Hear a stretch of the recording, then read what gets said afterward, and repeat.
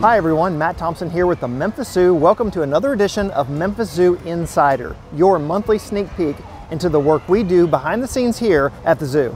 So this month we're going to go behind the scenes with our conservation and research department and see the work they are doing with the critically endangered dusky gopher frog. The dusky gopher frogs are an important part of the longleaf pine ecosystem and they form an intricate part of the food web so they kind of affect a lot of different aspects of the ecosystem. So we're in the tadpole rearing facility or tadpole rearing room for the dusky gopher frog. So this entire room is dedicated to just this one species. It's really incredible to be a small cog in a large wheel to help prevent a species from going extinct and it's really nice to be on the other side of things that we can be producing individuals to also release into the wild. We're actually able to help towards conservation. We'll choose the females that have um, the greatest egg development because they're going to be the ladies that are most likely to give us eggs. So as soon as we see a female releasing her eggs, um, that's when we'll start trying to collect sperm from the males. So then once we have the sperm and we have the female that's producing eggs, we'll take the sperm and we'll put it on top of maybe 40 to 50 eggs in small little petri dishes.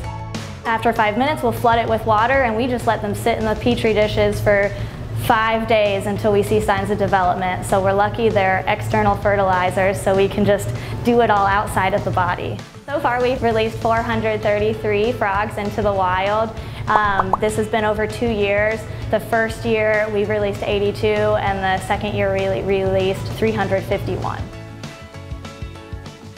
Did you know that the only place in the wild to find the dusky gopher frog is in Glens Pond in Harrison County, Mississippi? And to date, there are only about 200 adult frogs in that pond at any given time. We just completed a release of endangered dusky gopher frogs here at Ward Bayou Wildlife Management Refuge. It is the largest release to date of captive bred dusky gopher frogs that have ever been done.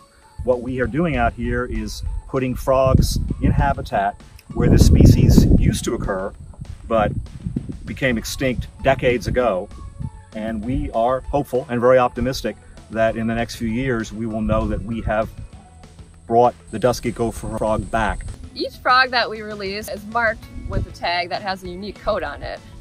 Earlier today, we looked at some of the burrows that we found around the pond, and we were really excited to find a frog that we released last year that was sitting right in front of the burrow. For more information about the Memphis Zoo and our Conservation and Research Department, please visit memphiszoo.org. All right, that's it for this time. We'll see you next month for another edition of Memphis Zoo Insider.